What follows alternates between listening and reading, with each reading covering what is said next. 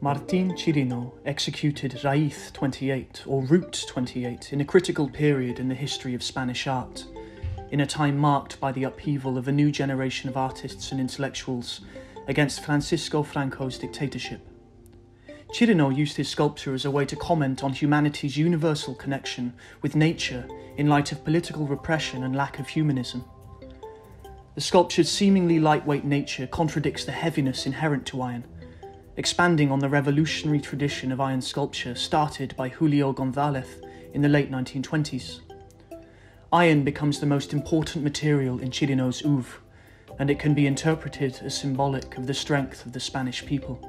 Born in 1925 in Las Palmas de Gran Canaria, Spain, Chirino's work is imbued with the ancestral Canarian culture of his birthplace, as well as the characteristic volcanic landscapes that define the geology of the Canary Islands, situated on the west coast of the African continent.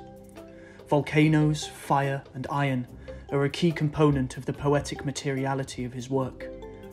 Chirino studied at both the Royal Academy of Fine Arts of San Fernando in Madrid and the Royal Academy of Arts in London and travelled to Paris.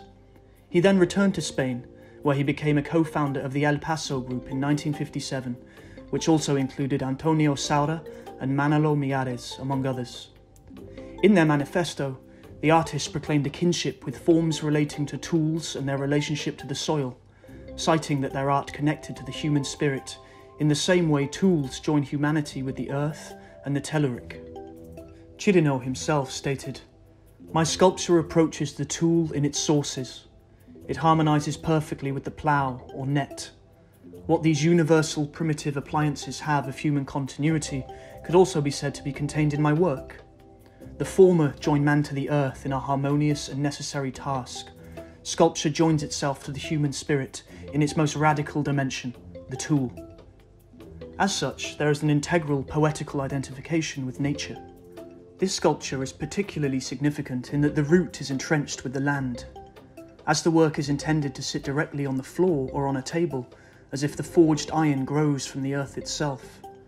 Root 28 features a consolidation of rugged shapes, as well as suggestions of the more organic lines that would come to fruition in his later work.